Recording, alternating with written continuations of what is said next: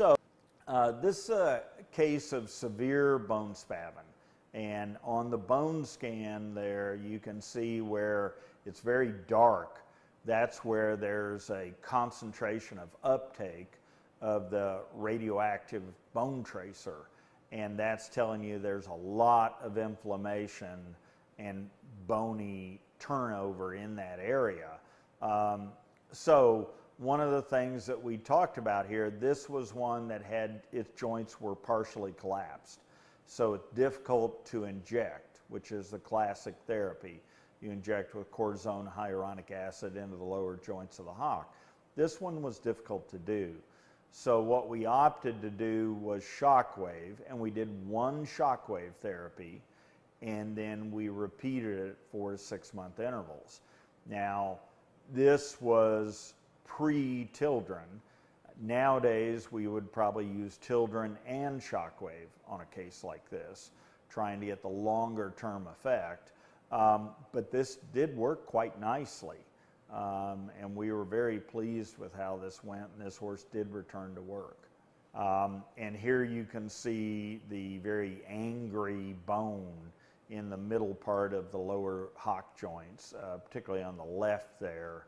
Uh, it's kind of a block of bone there at the lower hock joints, and you can see there's a very uh, cystic and lytic and all sorts of bony destructive processes going on. And so Shockwave was able to mitigate those, help it to heal, relieve the pain, get the horse back to work.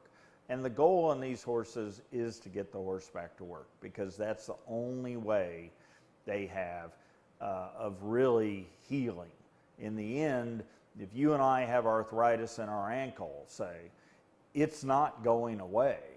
Um, the, they, the doctor can inject the ankle with cortisone, make it feel better, um, and you can continue on back to your whatever you work or if you're an athlete, or the doctor can surgically fuse it.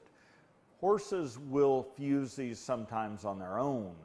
And so the goal is can you reduce the inflammatory process, relieve the pain, and let the horse go back and have a useful career without it hurting? And that's the goal in this, and Shockwave is a valuable tool in that regard. Uh, this is what the probe placement looks like when we're shocking a hock.